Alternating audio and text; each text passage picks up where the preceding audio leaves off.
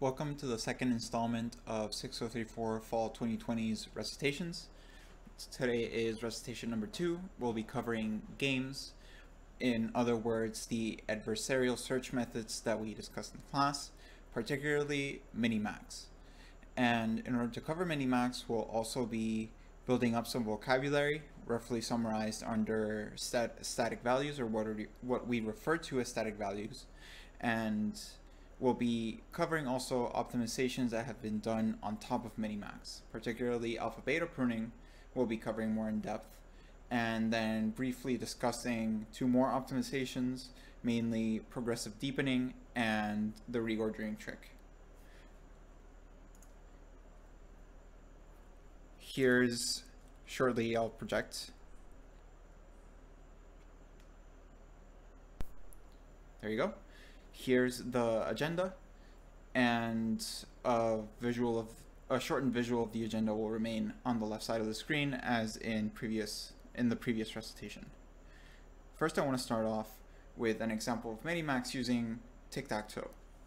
And if you were if you saw the lecture, then this will be familiar to you, but I think reviewing it is important so we're going to start with an empty board and let's say that I am the I am X and I get to start the game.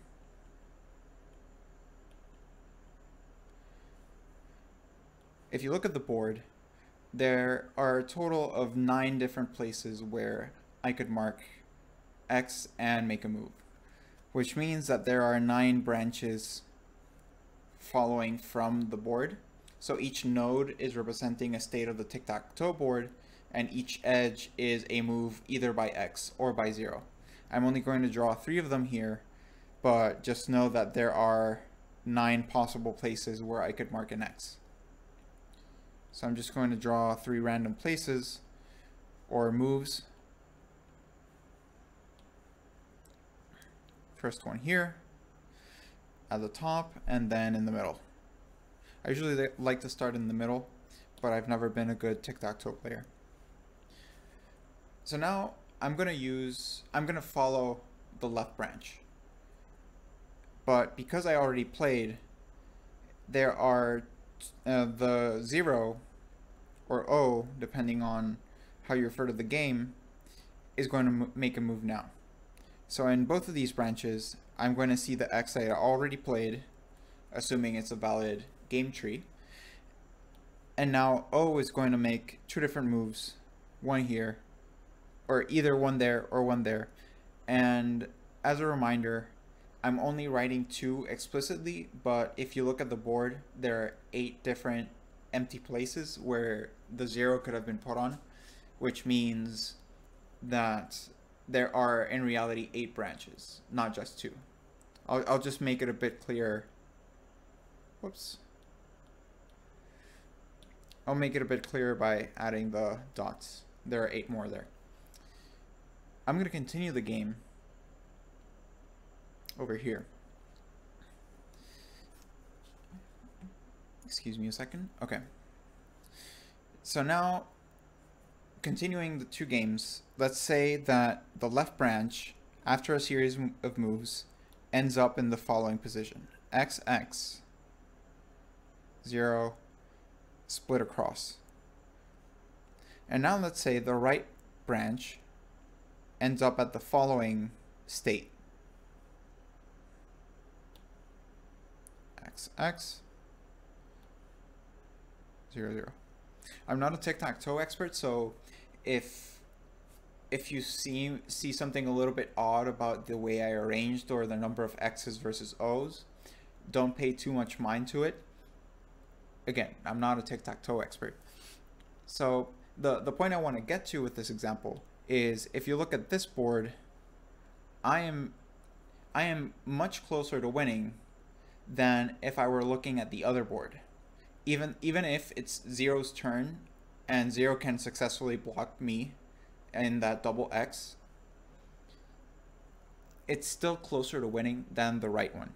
So I'm going to say X is winning here or I am winning.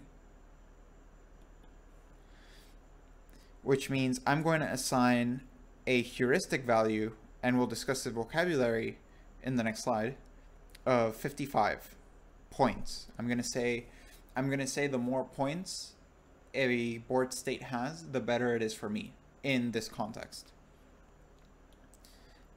Now, here, X seems to be losing. And if it is Zero's turn, X, X really is losing because Zero can just fill in the empty spot here and that'll be the end of the game. So because Zero uh, X is losing, sorry, I'm going to assign a heuristic value of just 5 here. And th this is the basis of what we'll be doing with Minimax and the later alpha beta pruning example. There is there are two players, a max and a min, and each one is going to be playing in favor of its own interests and trying to move the score or the, the score of the board in their own direction. So let's formalize this a little bit.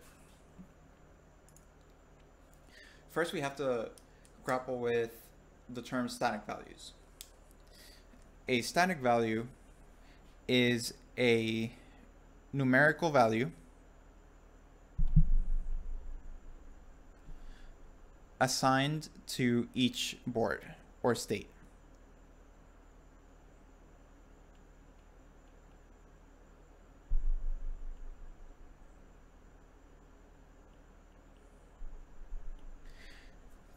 So if I go back, this h equals 55 and h equals 5, those both are static values because they are scores assigned to individual states.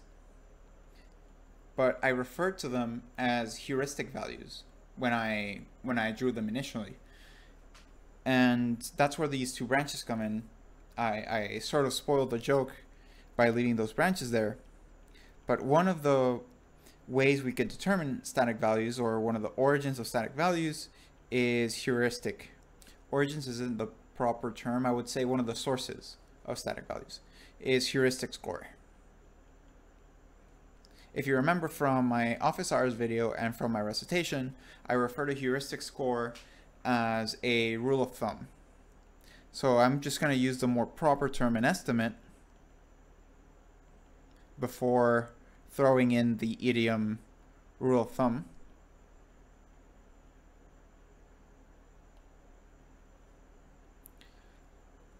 And in order to elaborate it a little bit more, it's a guess of how good a board state is.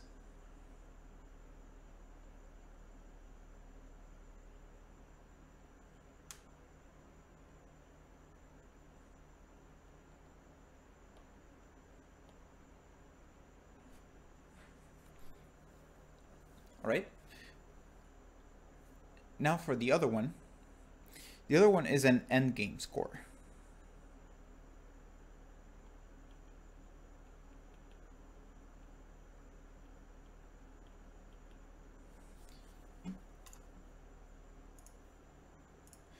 An endgame score, I'll just briefly go back to the tic-tac-toe example. Here in the h equals 5, the, the game really isn't over yet. So I'm, by saying h equals 5, I'm basically saying in this context, this board, I really am in trouble here. But then let's say the game continues one more move and let's say it was actually, whoops, let's say it was actually Zero's turn.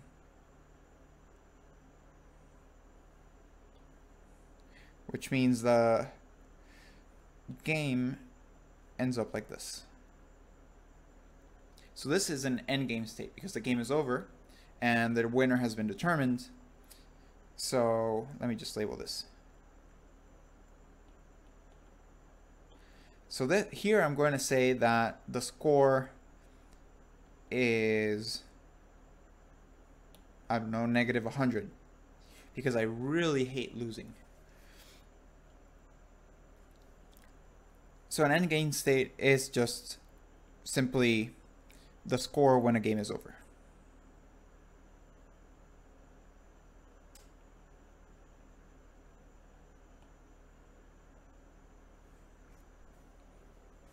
Right? And now that we have the vocabulary out of the way, let's talk about Minimax. I began roughly summarizing what it is when I was talking through the tic-tac-toe example, but I want to make it a little bit more formal. Or at least, it, whoops, explicitly write out what is going on. So as I briefly alluded to earlier, in Minimax there are two opposing players.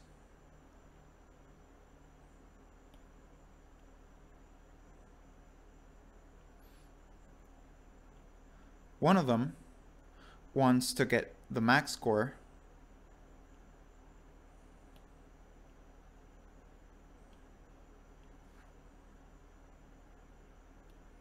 I'm going to leave score in parenthesis. And then one of them, or the other one, wants to get the minimum score again in parenthesis. Oops, let me correct myself. The other.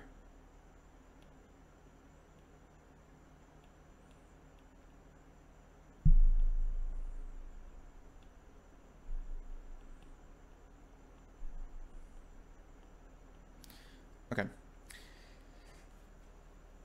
I just wanted to write that out explicitly and now start going over through some pseudocode. Fun fact, I've had to train myself to say pseudocode, but I often will accidentally refer to it how I've all my entire life been used to refer to it as solo pseudocode. So if I if you hear me say that, just um, feel free to find it amusing. Okay. Minimax is a recursive algorithm, and it's very similar in implementation to depth first search, which means we're going to make this a recursive algorithm. And we're going to start with the base case. And the base case is you either get to a leaf node or an endgame score or endgame state, sorry. Endgame states are leaf nodes, which means they're at the bottom of the tree. Or in a game such as, say, chess, for example, where the number the number of possible moves and how long a game is could make a tree extremely profound and extremely wide. You don't want to have to go to the very, very bottom. So we include the case where, or we include a depth limit. So how many levels down do you want to look ahead? So that's the, those are going to be our two base conditions. We either get to a leaf node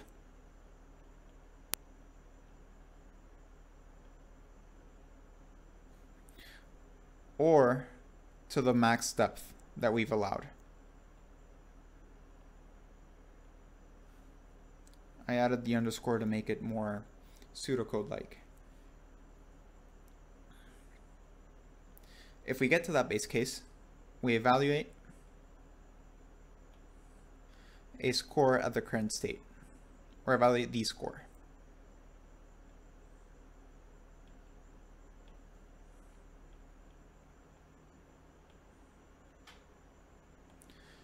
And what this is called, this particular evaluation, we refer to it as a static evaluation.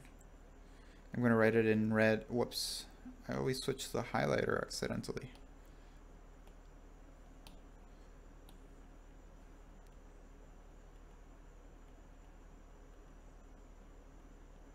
Static eval or evaluation. More on that in a couple minutes. Now we get to the recursive step.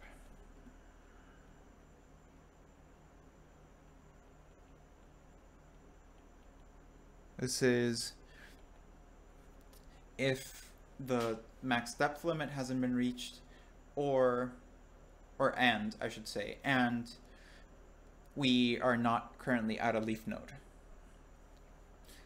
So if those two conditions are met, we look ahead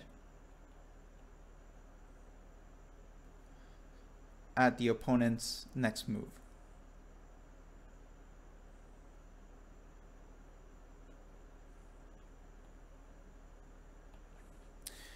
I'm going to say that the opponent's counter move.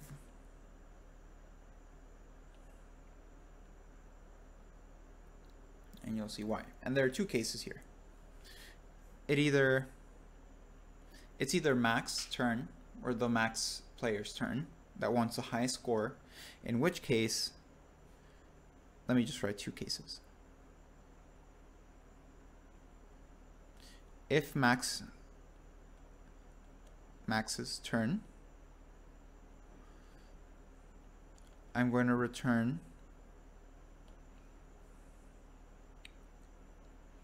the max of the children.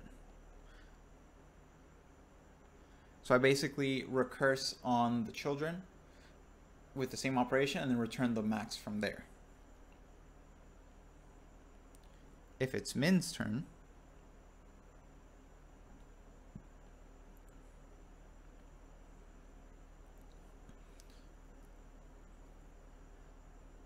I apologize that the camera button is a bit in the way. I just wrote if it's Min's turn right beside it or under it. If it's Min's uh, turn, return the minimum score returned by the children by recursing there. And if, if if you're not if you're new to programming and this is a little bit daunting, don't worry, we're going to work through an example right now. Okay, so we have a minimax tree. Things to keep in mind that are very important is note that the the player that is supposed to choose on a particular level is on the side right here. And let's go through it in order. I'm going to use green on green to indicate the direction that I'm shifting my attention. So let's say we're at the root and this is a DFS, sort of. Uh, this is, we're, we're going in, we're going through the nodes in DFS order. So we start at the root node, or you begin the recursion on the left subtree. And again, we recurse on the left child of that, and on the left child of that. And now we're at the first base case. This is a leaf node, which means we perform a static evaluation.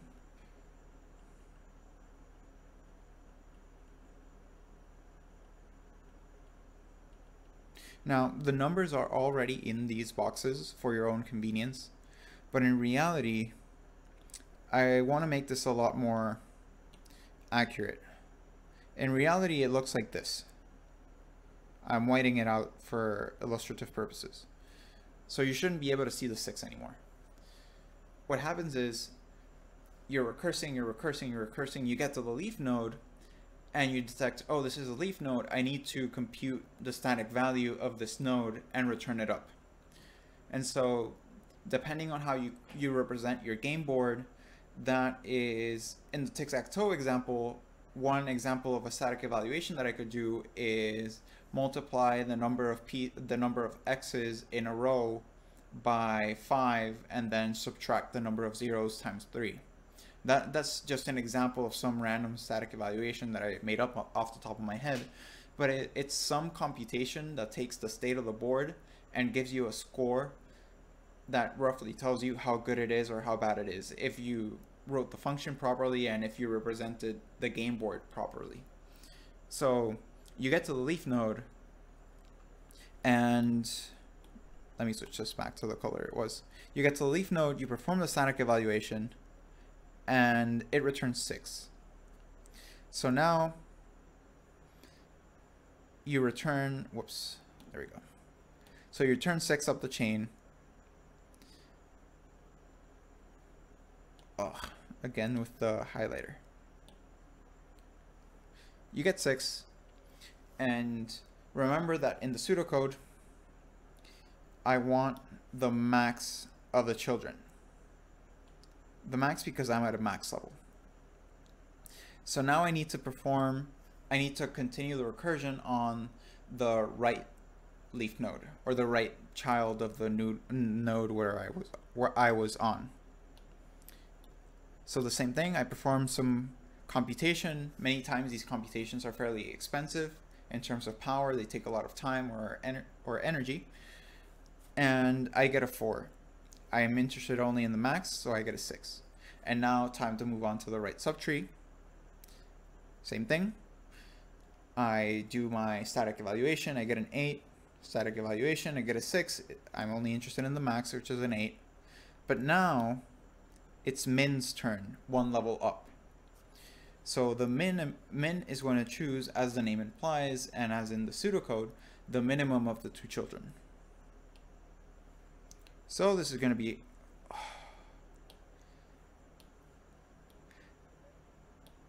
the bane of my existence. It's going to be a 6. And before we determine the max's final value, we need to continue the evaluations on the right on the right trees or the right nodes. So I move in this direction. I'm here, I recurse down. I know I promised I would do it in green, but I the switching between colors is going to lead me to switch over to the highlighter again. So I'm here, I perform the static evaluation. Did you see it? I almost selected the highlighter again. So I'm at a 4, then a 0. I pick the max, it's a 4. And then on the other side, the two values are the same. It's a 2. The min chooses a 2. But at the very top, the max is interested in the largest of the two values that its uh, children provide, which is 6. So we end up with a 6. And if I were, if you were asked what is the minimax path at the root node, you would say the following. This time I actually mean to use the highlighter. You would say this is the minimax path. Because that's the path that was taken after both the max and the min players basically battled against each other down to the leaf nodes.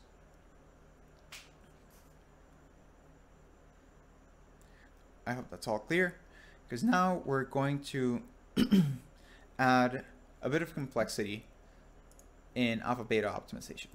So alpha, what alpha beta optimization is, is not, it's not an algorithm aside from Minimax. It's some, it's a framework that's built on top of it. It's an optimization as the title of the slide implies.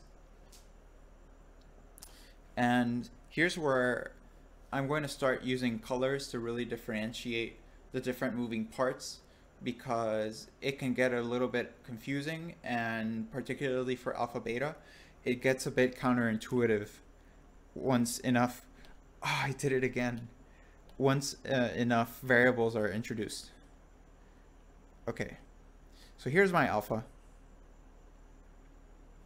and alpha is going to track the ma uh, maxes or the max players best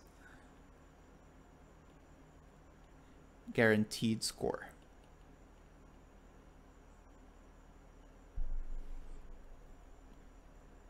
And beta, you probably already guessed it, it, is going to track the mins. Whoops. Min's best guaranteed score.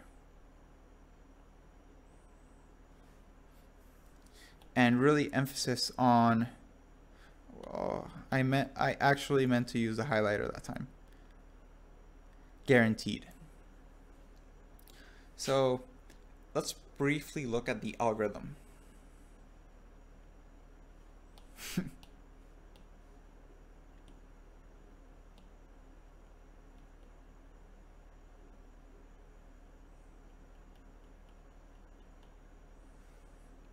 First, we have to initialize.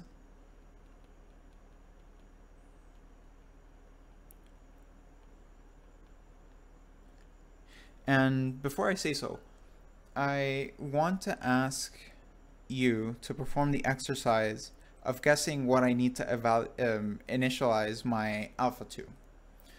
And it's a shame that I don't have an audience because generally I always ask this question and I always get the same answer you should initialize it to zero. And the other answer I always get is you should initialize it to some really, really big or really negative number. The problem is doesn't that doesn't really cover all the bases. The reality is I want to initialize alpha to negative infinity. And you may have guessed already that beta is going to be initialized to infinity. And why is that? It's because the alpha's job is to make or make the score of the get the highest score possible. And so we need to, if we initialize it at, a, at zero, for example, and we get to a state where all the children are threes, fours, and fives, then there's really no reason to, sorry, not threes, fours, and fives, negative three, negative four, negative five, and alpha is a zero. Then there's no real reason for alpha to continue, right? So we want the most negative or the worst possible value in order to basically motivate our algorithm to to battle it battle it out throughout the search tree. And what it's going to look like, I'll just label this part execution.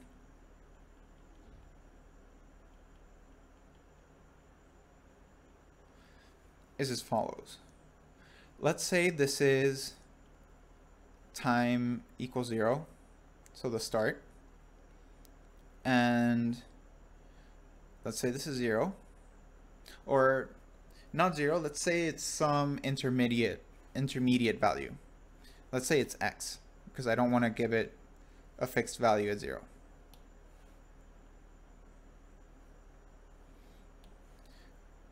So this is negative infinity. This is infinity which means if this is infinity beta is going to start here. And throughout the course of the game, because beta wants the minimum possible score, it's going to move downward in absolute value or in down toward the lower numbers. Alpha starts over here and it's going to move up. And this is where things start to get unintuitive because we have alpha and so far in the way I've been speaking about it, I've associated alpha to the maximizer, so you would think alpha, and I've associated beta to the minimizer, and you would think, oh, alpha is the maximizer, beta is the minimizer, that means alpha is the ceiling, beta is the floor, but it's the other way around. Because we're initializing beta at infinity, and we want beta to go down as much as possible, and we want alpha from negative infinity to go up as much as possible. And so what happens when they meet or when they cross? Is there anything in particular that should happen there? Well, that's the first, whoops, that's the first gold star idea for today.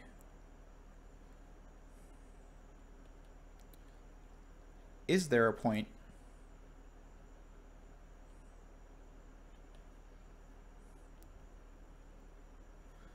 where alpha is greater than or equal to beta.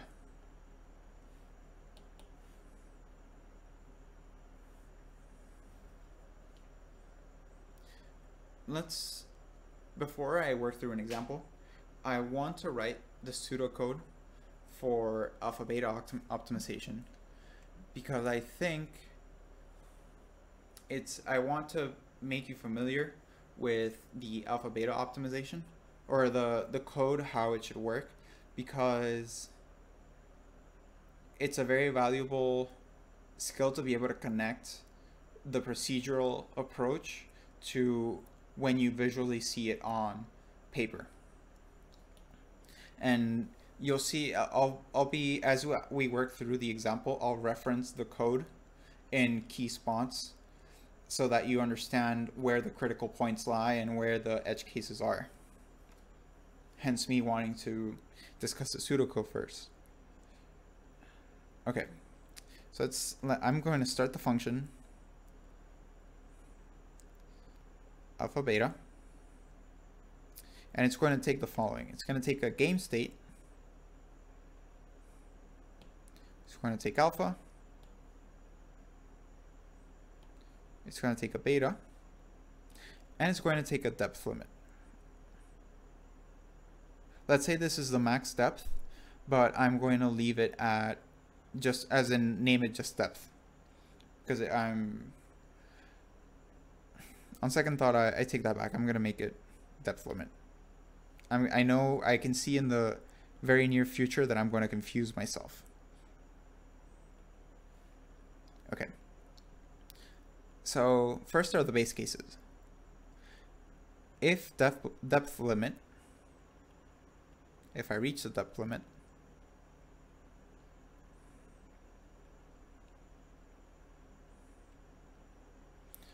or uh, I'm at a leaf node.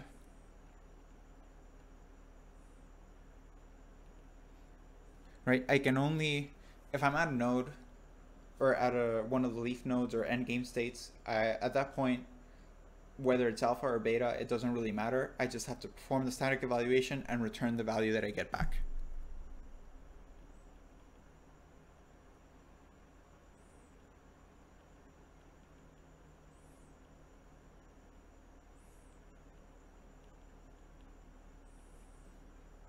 Okay. Now let's go on to the max. If it's max's turn. You'll see that min, the code for min is very similar. For max, I want to basically do a recursion on each of the children. So for each child of state, I'm going to say in state to make it closer to code, I'm going to say that alpha is going to be equal to the max.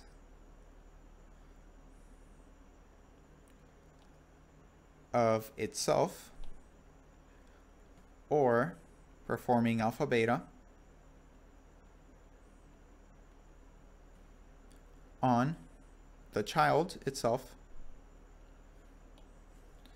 I give it alpha again and beta. So I just hand off those values down to the next uh, child. And for depth, now I'm deeper one level. So it's depth minus one. Missing one parenthesis. Right? So for each of the childs, my alpha is going to become is going to be either the max of its current value or if it sees a child that has a higher value than what it does already, uh, already then it's just going to grab the value from the more valuable child, if you want to, uh, to phrase it one way. And now comes the gold star idea from earlier. If, what happens with if alpha is greater than or equal to beta? And I think it's going to be harder for me to explain as I'm writing code or it's harder for, it's harder to visualize what's really going on when you're only looking at code. But I'll I'll make this point very clear when I'm working with the graph. But just briefly let me finish writing this. I'm going to break out of there. And why would I break is so this is an adversarial search. Let's say it's only two leaves at the top. I have max and then min is next. In the earlier example, I had a value of six.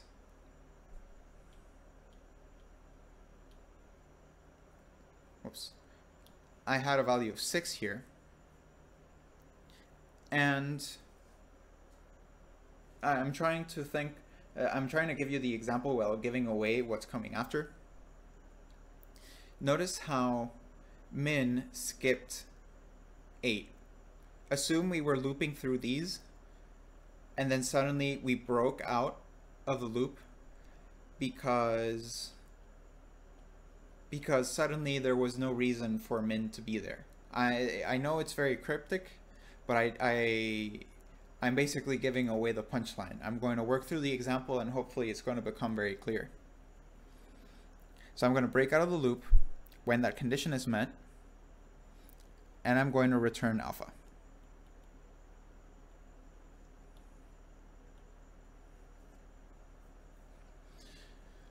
I'm the I'm gonna do the min now, but I'm gonna do it on the on a separate page because space is not permitting.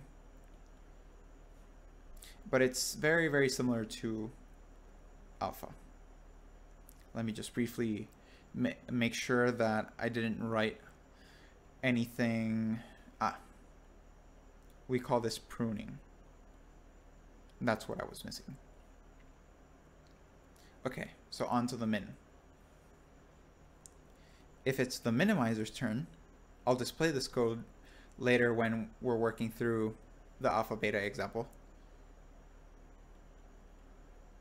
For each child, in state,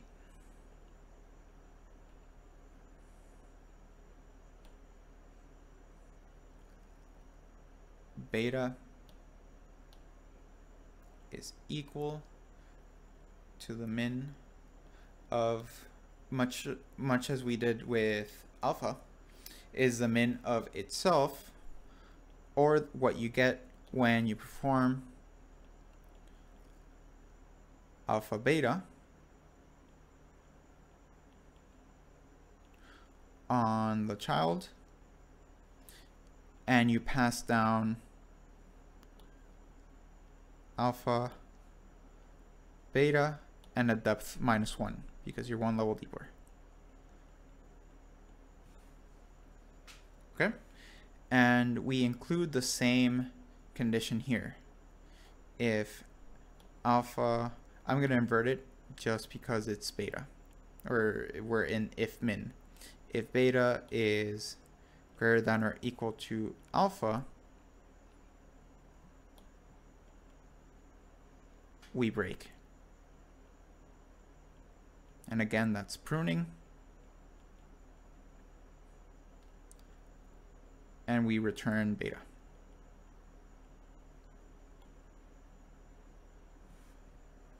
Okay. So now that that's out of the way, let's work through a alpha beta example. I promised that I would display the code at the same time. I have the code written in a separate slide. So I, I'm going to switch to the view such that everything, let's see, nope, there we go. Such that everything is in view. This is a separate slide I put, where I prepared so that all the code is visible in one place. Okay. So let's start from the top. Much how we did earlier. I'm going to use blue to indicate uh, never mind I'm going to use black just in case there's anyone that can't use uh, can't see blue or has trouble seeing I'm hoping that black doesn't interfere too much with the edge drawings I'll make it, I'll try to make it as clear as possible. So let's start at the top. Actually, I, don't even start with black. Remember that the first step is the initialization. And one habit that I've developed or one technique that makes things a little bit clearer is to look at what I'm updating. First, I'm updating max, which means the alpha is the one that's going to change throughout the course of this evaluating on this level. So I'm going to write alpha at the bottom. Alpha is equal to negative infinity, the initialization step, beta is equal to infinity. And now I go down one level. Because remember, let's see how good I'm pointing on the other device. There we go. Remember that we're recursing on each child.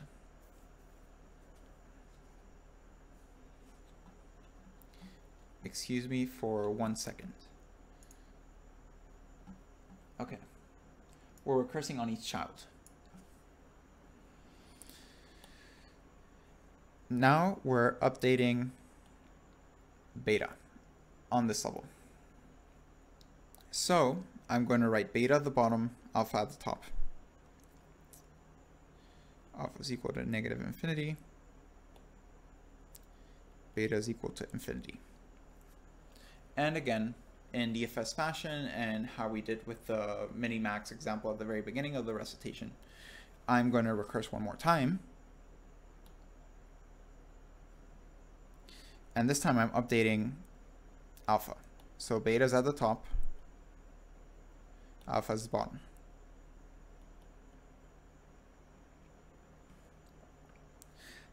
And now when I go down, even though the values are passed down to the leaf nodes, remember that in our base case, we don't really use the static values. Or we use the static values, sorry. We don't use alpha or beta, so I'm not going to rewrite them. It's also redundant. It's going to get very cluttered. I'm just going to say that I'm going to signal that the value, I performed the static evaluation and it was given up or it was returned to the level up, which means here the line is alpha is the max of itself. Right now it's negative infinity or the alpha beta value of, let me try to point two places at the same time, or the alpha beta value of this child, this child being six. So 6 is being returned, which means it's the alpha, it's the max of either negative infinity or 6.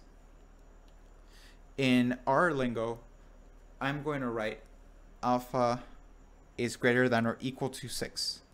And the reason I write that is because we're in the middle of a loop, right?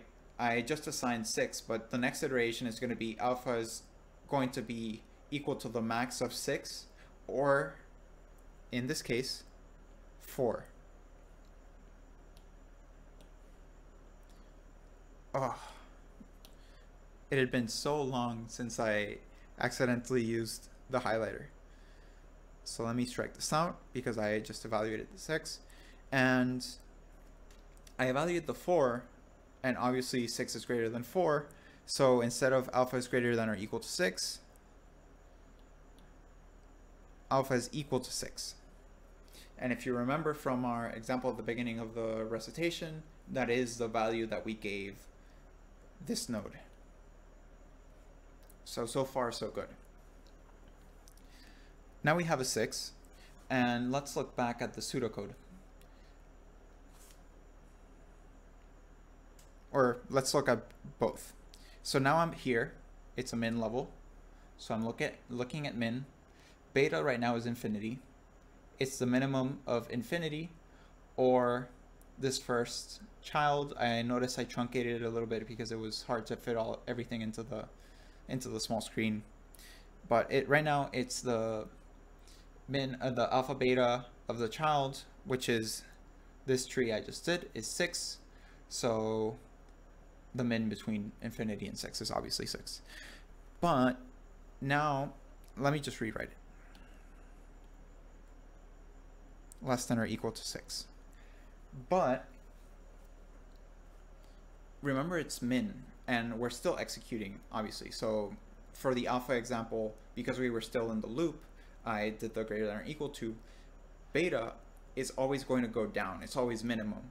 So 6 is basically the biggest value that it's going to get at any point, right? Anything that comes afterward or anything, whoops, let's say I don't know anything about this tree, no matter what comes in this tree, I know that the score, at least from the perspective of the minimizer, is never going to get any worse than 6. It's only going to go down from, as in down being better for the min, it's only going to get better for the min from there. Pardon me, though, my allergies are starting to get, get to me. Okay. So now we have six. Let's move to the, whoops, let's move to the next subtree.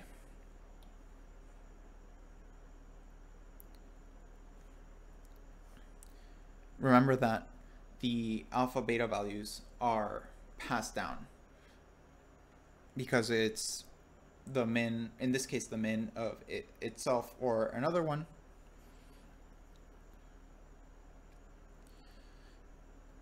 Let's see. This is going to be, because it's max, max is the one that's being updated. So beta is greater than or equal to 6, or whoops, not greater than or equal to. Less than or equal to 6 because beta passed it down. And this is an important detail.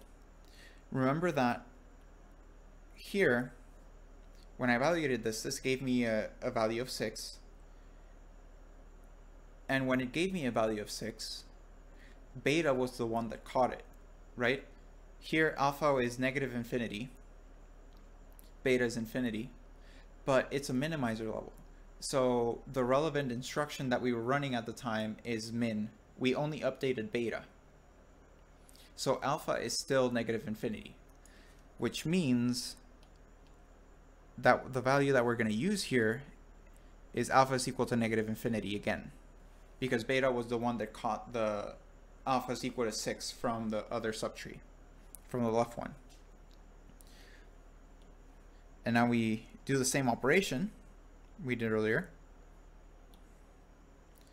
alpha is greater than or equal to 8. Do you see something weird there? Let me use a familiar color code and symbol to try to jog some memories.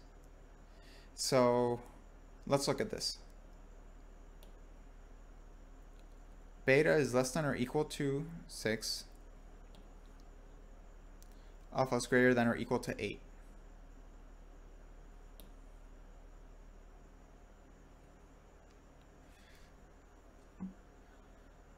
Does it remind you of this?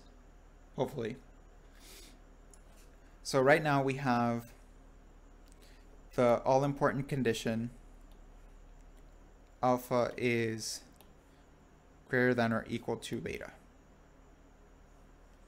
So what's happening here in reality? so we we handed down the the beta value right from here we have that beta 6 beta 6 and we started with negative infinity. The first round when we recursed it was between negative infinity and 8 and alpha obviously becomes 8 that's the max. Alpha is greater 8 is greater than 6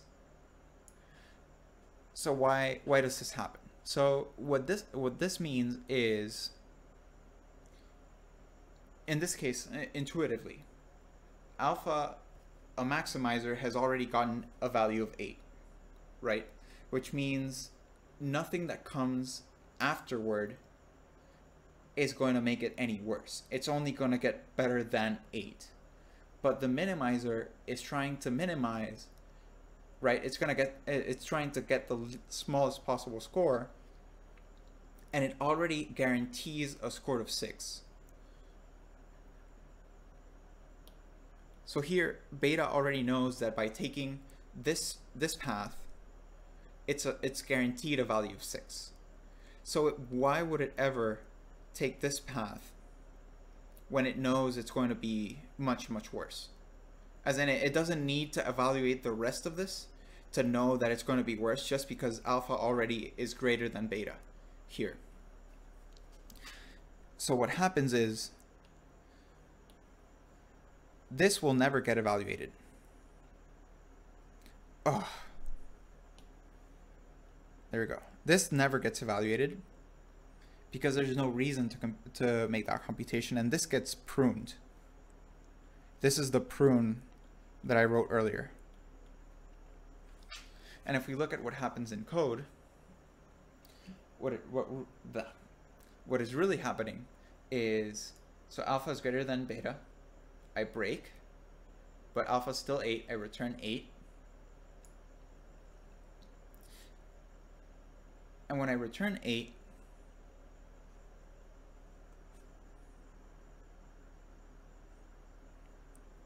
whoops, let me, give me two seconds to, uh, to stare at this.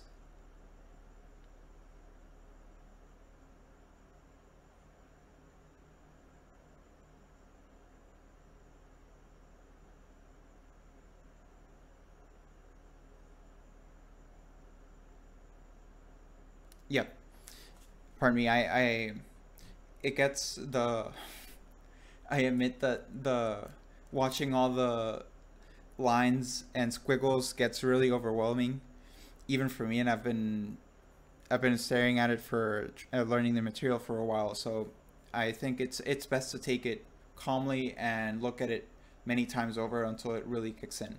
So yes, it returns 8. I chose 8 8 is greater than 6, return 8.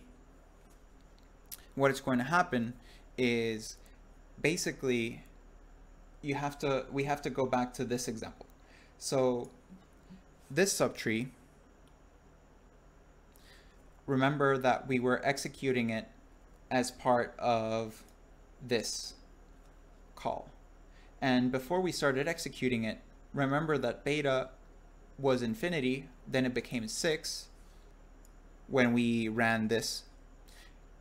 And now in this in this iteration, beta is choosing between 6 or 8 from from this 8 because we remember we we pruned we broke uh, we broke the loop so this never gets evaluated. We just return this. We don't care we don't care what comes afterward so we return 8, making beta the minimum of either 6 or 8. So what I'm going to say in this case is I'm I'm I'm not going to say officially beta is equal to 8 because in reality we didn't this node and this is important to note this node never got realized I didn't, in order to compute the value of that node, I would need the static evaluation of this node and this node. But that never happened, we cut it short. So technically, if I were to ask you which leaf nodes were pruned, this leaf node was pruned, which decision node was pruned, this is the decision node, and it was never fully realized because we cut this computation short, so this was pruned. But I'm gonna say that this is eight. And I'm gonna write it in black just to in 8 just to emphasize that we're choosing between 6 and 8 and we know that the minimizer is always going to go to 8. I mean, not the minimizer is going to go to 6 between the two. So, after the brief lapsus mentis, beta is equal to 6 because it chose the left child. And now popping up the stack, alpha is going to be equal to the max of negative infinity or the beta that we're getting from the left the left child, which is 6, which means we cross this out. Alpha is greater than or equal to 6. Because again, it's the maximizer, so it's always going to go up. The, the worst that it can ever get is 6. Now we continue, we start going down the stack.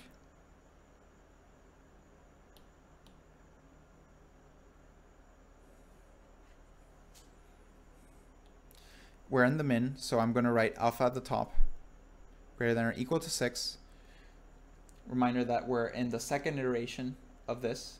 So I'm, now I'm choosing between the, ma the a max of six or whatever comes out of uh, of this.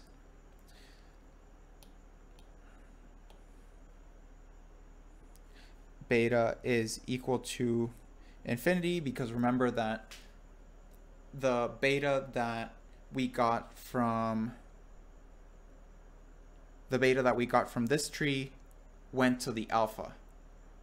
And so we're in this tree, we're getting the the original beta at the very top.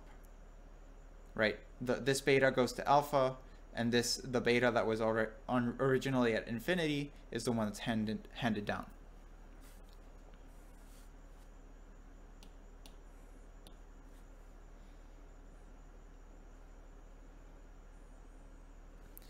Okay, moving down one level, alpha is the one that gets updated now, so it's going to be written at the bottom, beta's at the top.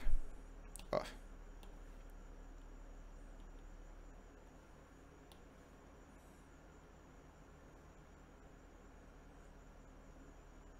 alpha is greater than or equal to 6.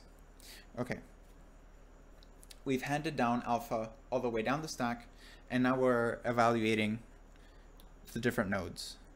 So I evaluate the 4, so alpha is going to be the max of either 6 that it got from the very top root node, or 4.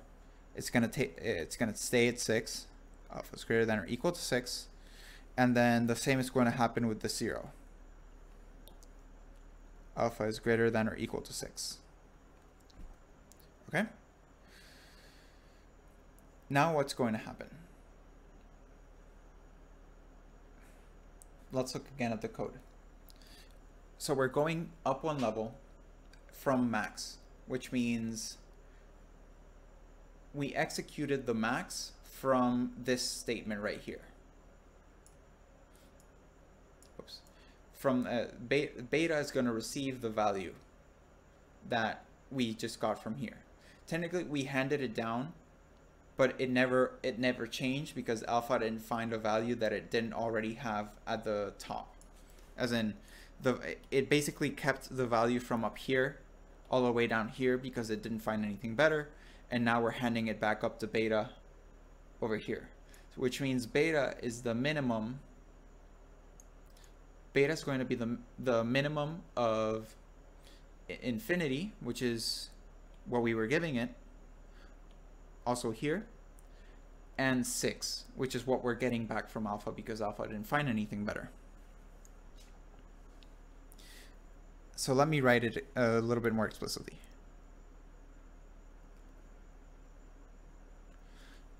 Now, beta is less than or equal to 6. Does it look familiar again? So now we are again at the prune condition. Pardon me. Beta is, whoops, less than or equal to alpha. And now this is what's going, this is a what we call a deep cut or deep prune. And the reason it's deep, it's because the alpha beta value or the alpha value that caused the prune was an alpha value that was received from the root node. So it wasn't a direct consequence of the leaf nodes down here, it, it's a consequence of the alpha value two levels up from you could say the grandparent of the children. And so that that's a deep cut. And what's going to happen is this entire subtree never gets evaluated. And uh, again, we can think about it in terms of intuitively what really is happening. And what's happening is, let's see, at this node, from this tree because it didn't because alpha didn't find anything better and it already has a guarantee at the top alpha returned 6 and beta grabbed it which means no matter what comes from this other tree whatever comes the the expected outcome that max at the very top is going to get at least from this tree, is never going to be better. It's only, it's either going to be the same as what it already has guaranteed from this tree, or it's going to be worse. Because you, I mean, you, you can already see it from here. You would get that beta is equal to 2, and we would set beta, beta equal to 2 here. and the maximizer would never choose this path when it has something much better over here. So we may as well completely skip this entire subtree and save ourselves the computation. So this is never evaluated, neither this nor this. And this decision node is never realized because we didn't evaluate the full subtree under it. So let me just highlight it a little bit more. This is pruned. This is pruned. This one is also pruned. I, I, typically we don't mark the decision nodes that we prune, but just for the illustration, I marked it there. And then this one, its value is never realized. So 10, if I were to ask you which nodes were pruned, you would also include this one in the list.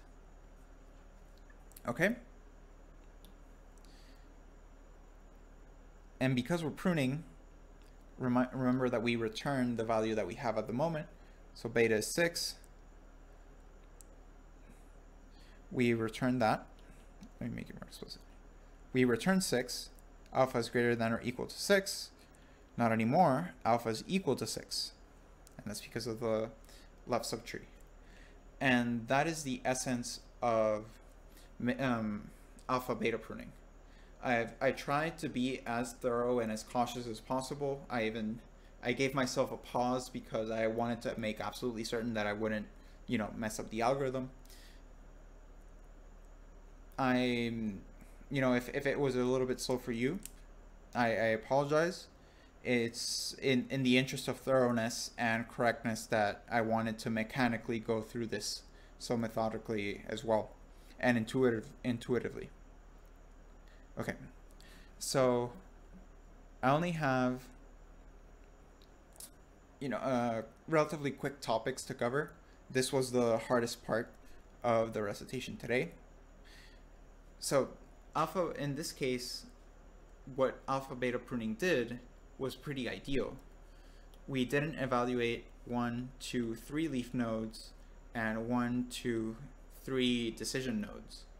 We completely skipped them. Let me, whoops, that's a blooper. There we go. We completely skipped a few evaluations. And that really saves a lot of time, especially if it's a complicated or deep game tree. But sometimes it's not that ideal. So let's look at the following example. let's say that the, the values at the leaf nodes are 4, 5, 3, 2, 8, 9, 7, and 6. So what is going to happen? I, I the the recitation is already getting a little bit long, so I'm not going to go through the whole alpha beta example. I encourage you to try doing alpha beta pruning on this particular example on your own time. But what's going to happen or what you should see happens is, let's look at the max here. The max is going to be a 5. So the min is going to be less than or equal to 5. And you want to check the other branch. And you see the 3. And the min thinks, okay, it's a 3, which means it's already better than what I had over here. Perhaps it could get better if I explore even further, and it explores the 2. So min ends up being, well, the the 3 goes here. It, it and min ends up being 3. And uh, so max is going to be greater than or equal to 3. It goes, uh, you come down, you come down. So max here, as in the previous example, it's going to be greater than or equal to 3, greater than or equal to 8, greater than or equal to 9, max settles on 9. Okay, so the min is going to be less than or equal to 9. I know this is fast, this is why I am I encourage you to try it on your own time. Min is less than or equal to 9. We go back down here. Max is going to be greater than or equal to, remember that at the root node it was 3, so comparing the max of 7 and 3, it's going to be 7. It stays at 7. And 7 is still better than 8 and 9 over here, so min is going to take it anyway. And what is going to end up happening, and what you notice if you try this on your own time, is this is going to be the minimax, the, the minimax path.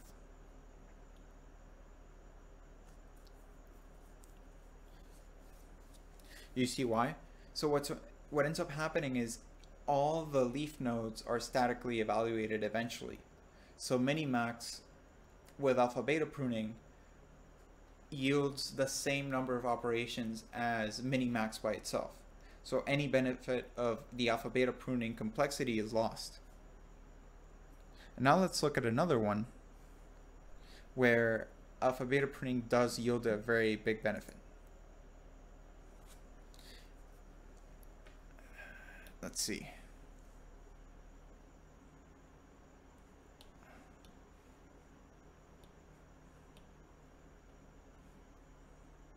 Six, seven, nine, eight, two, three, five, four. What do you notice from in, in between this one and this one? In this case, and this being the worst case, all the best values were to the right. And what I mean by that is whenever, with the exception of the leaf nodes, the leaf nodes are relatively interchangeable because we don't really do any alpha or beta there, we just return the value at the leaf node. But let's say here, at this min, the best value for the min was this right subtree, not the left one. The following tree is a mirror image of the previous one. Let's look at the min here. Here, the min, the best value for it is no longer the right subtree, it's the left one. And let's think about a little bit what happens then. Let's just ignore the rest of the tree. Let's just focus on this one. So when it comes here, the max is going to choose either 2 or 3. It's going to choose 3. Min is going to be less than or equal to 3. Then the max is going to be greater than or equal to 5. And then the min is going to prune because already it knows it's going to be less than or equal to 3. And, you know, it, there's no reason in exploring this because max is going to be greater than or equal to 5. You have the prune condition. So you've already cut operations here. And the same thing is going to happen here. You get the min, you, the min is going to be less than or equal to 6, I mean to 7, sorry, to 7, because the max chooses a 7. And then it's the max is going to be greater than or equal to 9 on this one. And the min is going to say, I'm already less than or equal to 7, why would I keep exploring if the max is already, is, is trending above 9? So this is pruned. And so the general trend that I want to make you see is in the ideal case, or the ideal scenario for alpha beta pruning, let me highlight it to make it a little bit more explicit.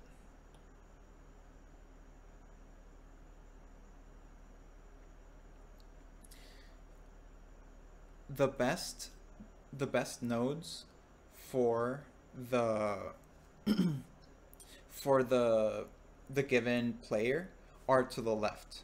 So if it's a min, the lowest values are the left children. If it's a max, the highest values are the left children. That's the ideal one because once you get that better value on the left, it's because we're, doing depth first search on the left subtree first, then we get to that best value and we quickly realize when moving on to the other children of the tree well this isn't good and we and we can quickly start pruning. And that is the basis of progressive deepening in particular the reordering trick. But let's talk a little bit about progressive deepening very briefly and then I'll cover the reordering trick which is which is used in such arrangements as this one and the previous one. But let's get through progressive deepening first. Uh, this is the last of the material that I have to cover for today. So don't despair that this is getting longer. If you if you're able to attend the recitation, I encourage you to go there and ask the TAs in person so that you may interact with the material on you know a person to person basis. Okay, um, shameless pubbing aside, we call progressive deepening an anytime algorithm. And the reason we do is, I'll explain here. We first evaluate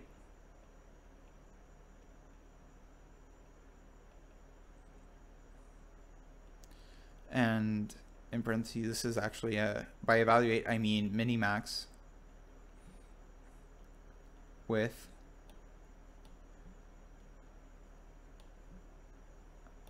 alpha beta pruning. I'm just to say alpha beta. To depth 1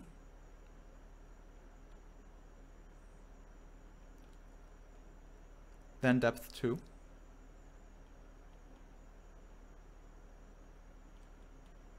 then depth 3 depth 4 you name it until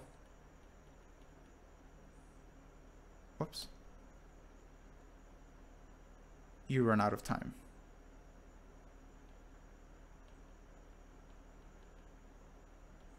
So what does that mean? Remember that the premise that we started with with in the distinction between endgame states and heuristic scores is that you're never not never you might not always be able to get to the endgame states and let's say it's a chess you're playing against the chess machine and there's a time limit in between by when you should make a move the machine isn't going to have time to calculate the entire expansive set of trees for, based on the move that you just made and then make a move. Maybe in if Moore's law carries us for a few more years, then maybe we will. or maybe we already can, but I digress. So the point is you won't always get to the very bottom of the tree. There's there has to be a point at which you stop. And the way progressive deepening makes it is First, you evaluate this tree, and then you evaluate one level deeper. And then one level deeper and one level deeper until you run out of time. And what we refer, what makes it an anytime algorithm is because you're you're using heuristic scores, the alpha beta the minimax with alpha beta pruning is going to give you the best minimax path according to the, the heuristic scores. And whenever you run out of time, the minimax path that you have found at the depth that you found is going to be the optimal one. So at any time the algorithm stops, hence the name, you get an optimal minimax path in this in this context of adversarial search with progressive deepening. That's why we call it a minimax, um, an anytime algorithm. And the gold star idea here is that you incorporate DFS into a BFS framework.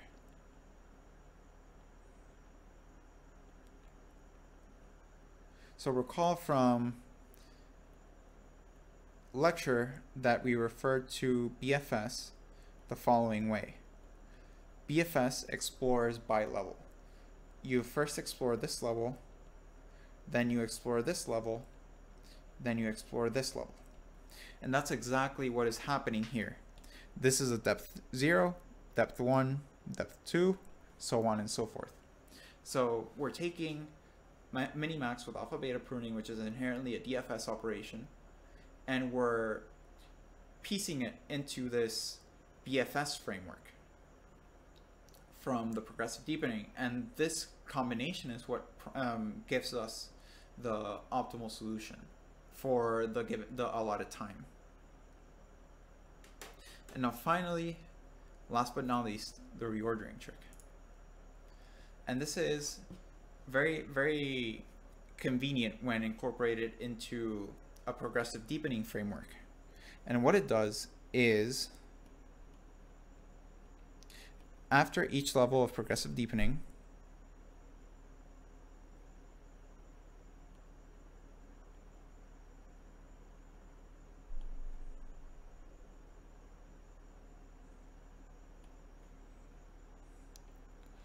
move the best node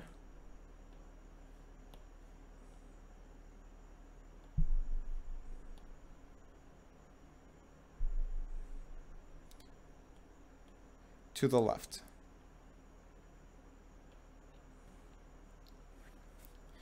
You remember when we discussed the optimal versus worst case scenario for alpha beta pruning?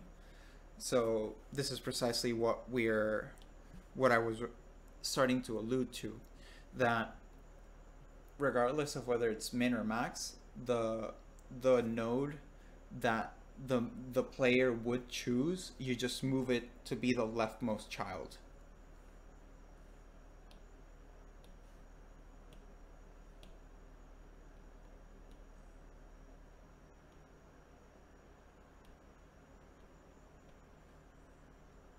So let's say I have this tree,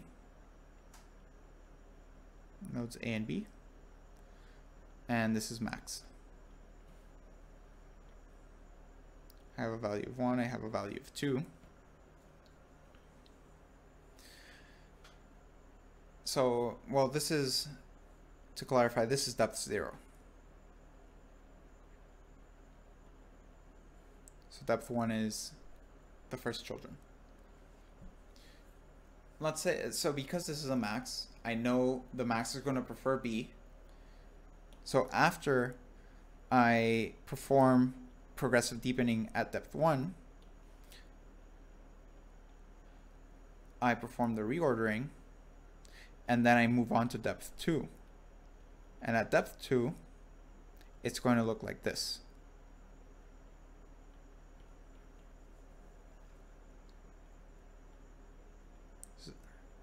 Now this is B and this is A. Let's say this is F, G, H, I,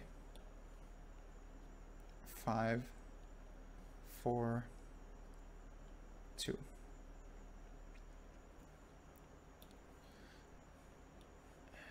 And now this is a 4. Because let's say at the first the when at depth one you don't really you had to rely on some heuristic function to get you that this is two and that this is one. And now that you've added so we reordered it which is why this b is on the leftmost child.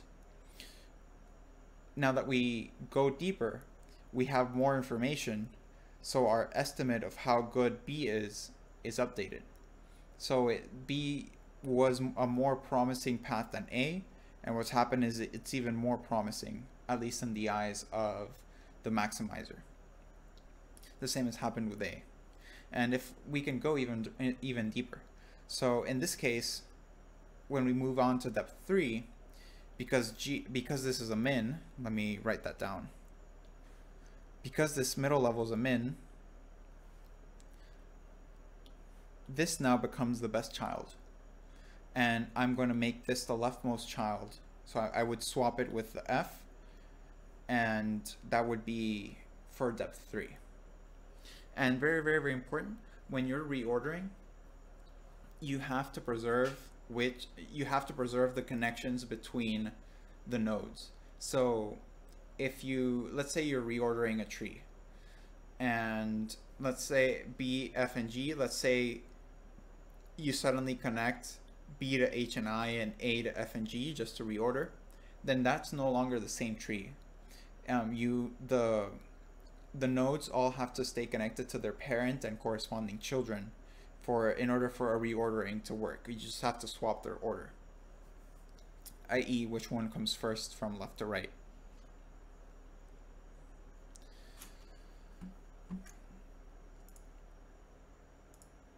Okay, so thank you for sticking through. That's the extent of the material that I wanted to cover for today. if you have any questions, thoughts, concerns, feel free to reach out on Piazza in office hours, and I'll see you on the next one.